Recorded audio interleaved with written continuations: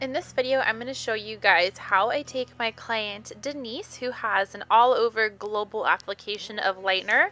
It's got a little bit of some warmth in her zone 2 to zone 3 area.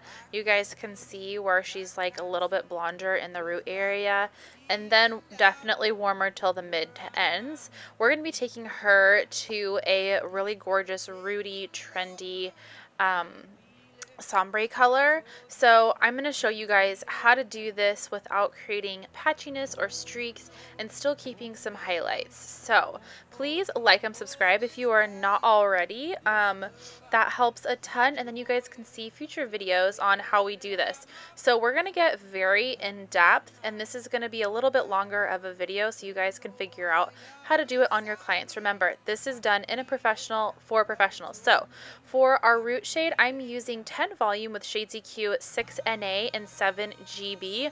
I am doing, now it all depends on whatever my client is coming in with. So I'm actually doing about half and half on Denise today. Um, your client is going to be probably a little bit different proportions, but I either like to do half and half or I like to do uh, two thirds of 7 GB to one third of 6 NA.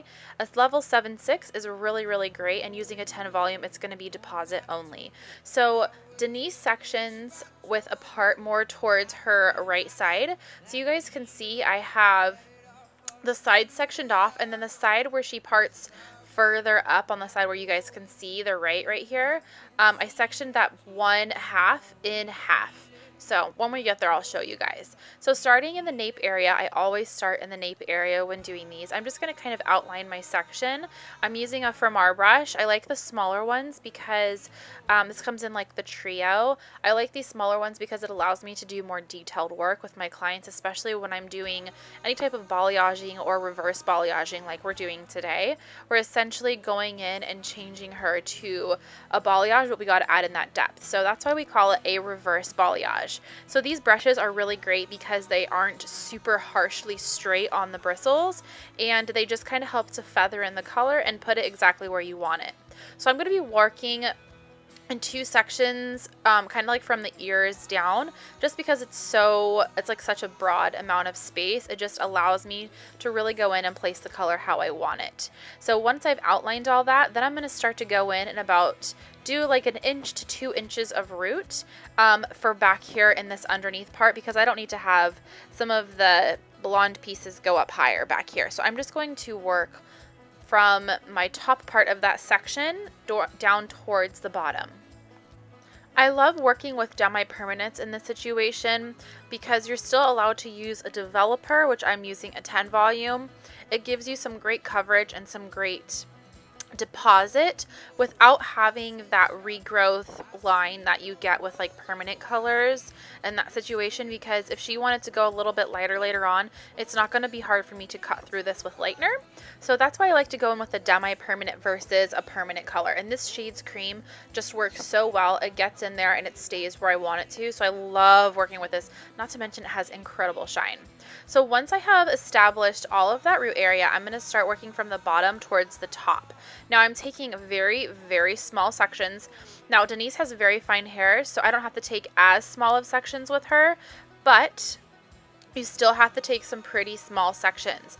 Um, I'm working horizontally going up the head and you guys can see I did my first one so I just kind of skipped that one. So I'm going to go on to this second slice. So I'm taking slices and I'm placing my color in horizontally and then I'm using my brush to feather it down vertically. Now once I have kind of my, my color placement on here, I'm going to go back in with my blur brush and I'm just going to blur those lines. So let's get a little bit more in detail with this. I'm going to put a foil on top of that because I section section out my color as I'm doing this so it doesn't bleed onto the other hair because if you're just doing this free-handed on such blonde hair, you're going to get some problems. So first, I comb this down so that it is nice and broken up and flat. And then I'm going to place my color in horizontally just to get that main part done. I'm coming down about five to seven inches. It varies on every single foil. I'm doing different placement so that it looks really natural. And then I'm going in with that blur brush and just blurring that end line to make sure that it is really softly going into that blonde. We do not want any lines, any yuckiness happening to this. So I'm working in small, very small. I mean, you should be able to read a newspaper through that section. Very small slices. And I'm doing a couple slices in between my foils. So I'm not doing like a foil for every slice. I'm doing about three slices and then putting a foil on top. And then you guys can see just using that smudge brush. If you guys have not used the Redken smudge brush, it is incredible for doing balayaging. It's incredible for doing reverse balayaging. It's incredible for doing color melts, all kinds of stuff. So you guys can see I'm also doing another technique right here where I am weaving out some larger pieces throughout the bottom. And what this is going to do is I'm actually going to go down further with my darker pieces right here. So I'm putting this darker pieces down a lot further, kind of, I would say about two thirds to like a halfway down the hair just to have a few fingers of darker color coming down. So I'm going to kind of keep on doing this kind of um, assortment of longer and shorter pieces working through the hair. Then once I get towards that ear area, like right below the ear up to the top of the ear, I'm going to break this up into two sections just so that I can keep it a little bit more neat and uniformed. So the most important thing out of all of this is just to keep clean sectioning. So once I get towards the top, then I can go back to using one foil again. So you guys can see I'm using a slice, I'm applying my color, and then I'm going to go back and smudge it with a smudge brush. Now when we get towards the top of the head, we're going to go a little bit finer with our details because the top is going to be seen and we want it to be a little softer. So you guys can see I'm adding in a few panels of slices. And now what I'm going to go do is kind of do a little bit bigger than a baby light. And what I'm doing right here is I'm putting it only about an inch down and then I'm going to go back in with my smudge brush and just kind of smudge that down. So that's kind of going to be like where we would place a highlight. Remember, we're having to think of this in reverse. So I'm keeping all of that hair inside the foil so no other dark touches that. Now I'm moving on to another weave section, but with this one, I'm actually bringing it down lower. So I'm doing another one where I weaved out a piece and I'm gonna bring this down pretty low to have a few fingers of darker color that goes further down. So I just kind of moved you guys down a little bit to see. That way, it just kind of adds some depth underneath there to bring out the color. So again, I'm just going in horizontal sectionings and adding in my depth to this hair, bringing this one. I When I go towards the top of the head, I tend to go a little bit higher up. That way it's not such a deep depth of color. So I'm working at about 5 inches to 4 inches there. So now when I'm going over to the sides, we're going to be doing this a little bit differently.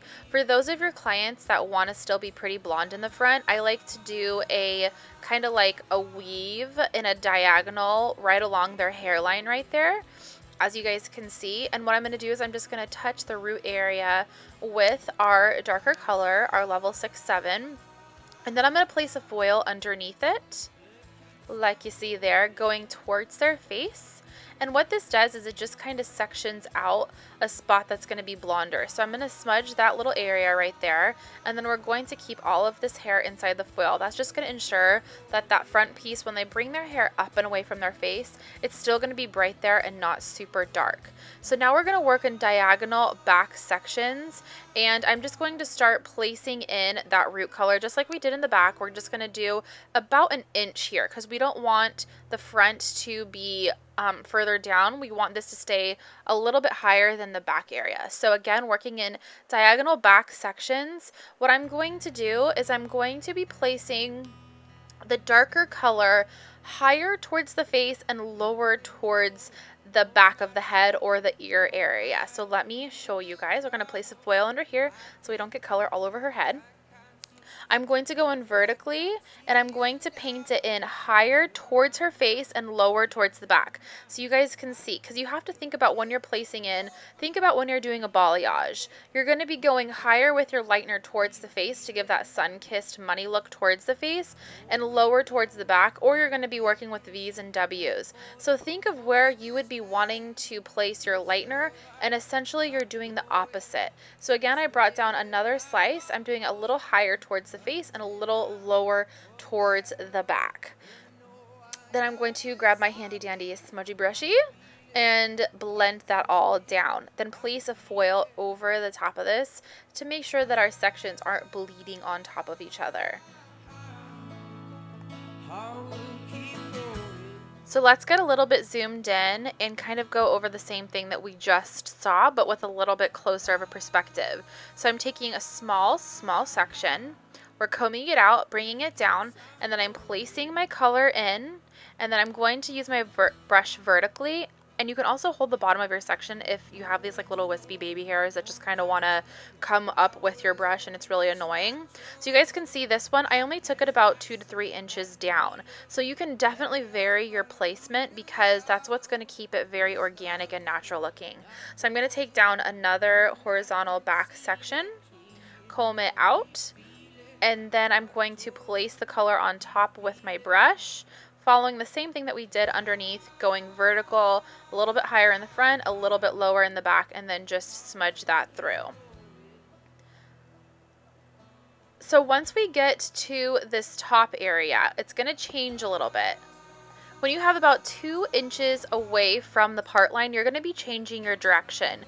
So what I'm doing is I'm taking out a small diagonal forward piece from that entire section. You guys can see that's that entire chunk. And I'm doing a very, very small amount in that front piece of where I'm placing the dark because we want these to be our money pieces and we want this to be very, very, very light.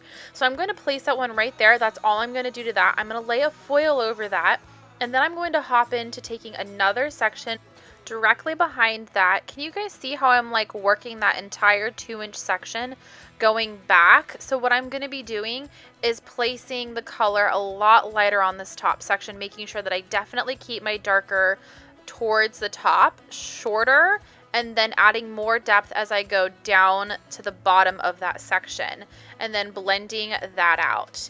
Now I'm going to continue to do the same thing. I'm going to put a foil over that, go to another section, pull that down as my foil decides to drop and not protect the previous section like I wanted it. This is going to give us that really beautiful, gorgeous depth in the top with still bringing that light over the top. So these pieces are extremely important to make sure that you're not bringing it down too far all the way throughout the top, but keeping in mind to see where your light and your darkness is going to fall when your client is going to rinse her hair out. So I'm going to actually section that top piece off of that two inch section. We're going to come back to that in a second and I will show you why. So again, I'm going to take a diagonal back section, bring this towards the face, paint in that dark, and then use my smudge brush to smudge that out. You guys, I promise this is going to create the most beautiful part to your hair that gives depth, dimension, and brightness all in one. So we're just going to finish out that little tiny corner by doing this exact same thing. Working with Shades EQ Cream is probably one of my favorite products in the world ever to do this smudgy brushy thing. You guys can see that I just made sure to keep that little tiny weaved part sectioned up and out of the way from this last smudged root. So now what we're going to do is lay a foil underneath this. I'm going to bring these very few weaved pieces that I left directly on the part. I'm going to put a tiny bit of product, so like a half an inch right at the root, just to make sure it has a shadow root, and then I'm going to blend it down because these are going to be a few highlighted pieces on the top. Now, when you guys are getting into the bang area, if your client has bangs, you want to make sure that you section those out and do those separately.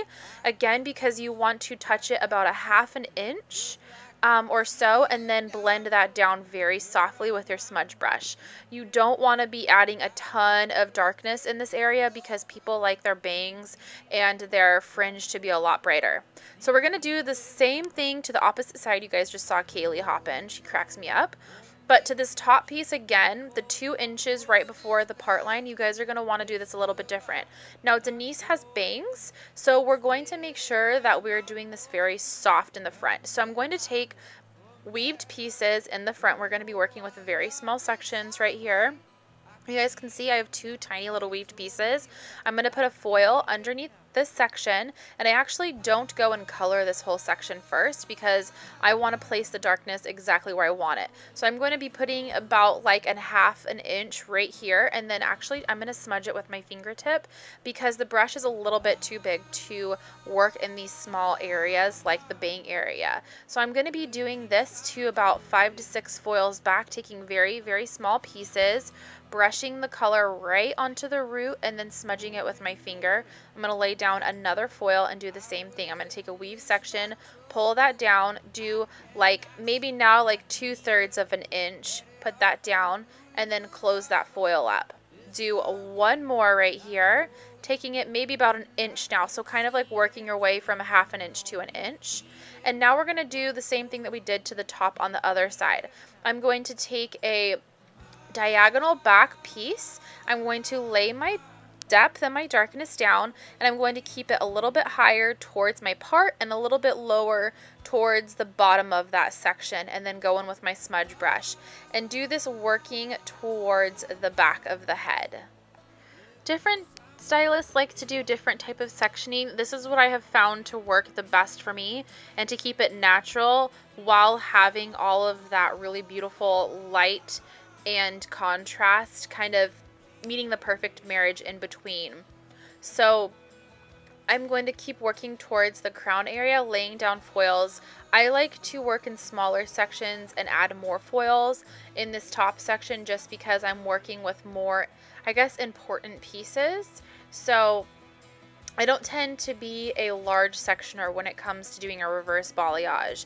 I think that people try to sometimes power through this when if you guys take the time, you guys can make it look like you just did this super incredible, gorgeous balayage and you're just placing in that depth where that depth needs to be. So this is such a cool trick to just adding it in and making sure that you're not creating any splotchiness anywhere. So you guys can see I'm doing a few bigger chunks right here towards the back of the crown and I'm going to paint these pieces a little bit further down. That way I still have some depth in that top area. You guys can throw these in when you want.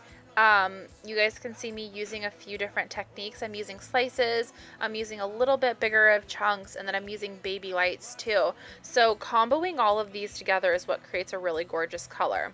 Again, on the part that is on my part line, I am not taking my client's dark as far down. You guys can see I sectioned that off. So I'm kind of keeping that a little bit higher and then those back two um, weaved pieces, I'm bringing a little bit lower. So again, keeping that dark and that light where I want. I will say that a million times. I told you guys I was going to get pretty in depth with this. So I'm going to lay a foil over that guy and just kind of finish this tiny little triangle. I'm going to weave out those top pieces right there, right on the part line, and leave those out so I can make those a little bit brighter. And I'm just going to take a few more slices and work back towards that crown area once again and finish up this little tiny triangle.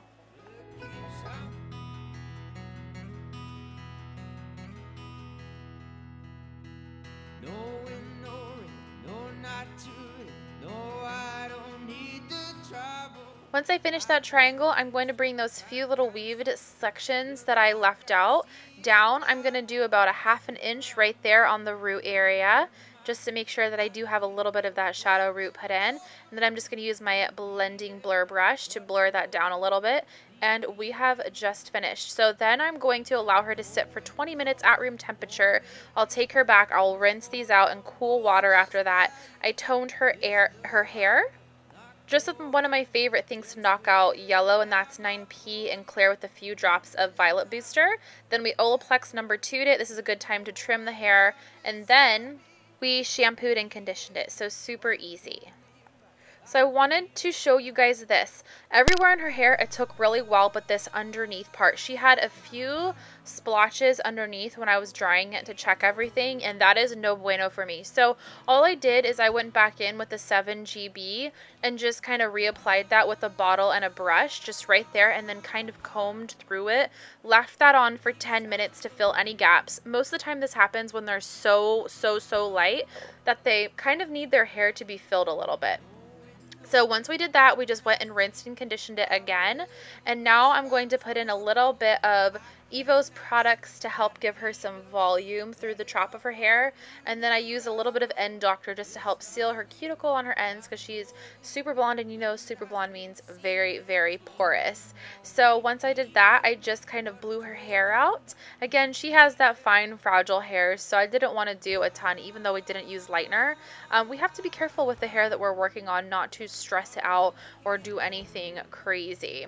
So now once we have it blown out, you guys can see this before and after. How seamless is this? You have the brightness, you have the dimension, you have the more cooler ends, and it just gives you this really gorgeous, gorgeous look from all those different techniques that we threw into this hair. It looks so beautiful afterwards, and what a big difference. So thank you so much for watching. I hope that you guys have enjoyed. Please go and find me on Instagram, find me on Snapchat, and I will see you guys in my next video. Bye!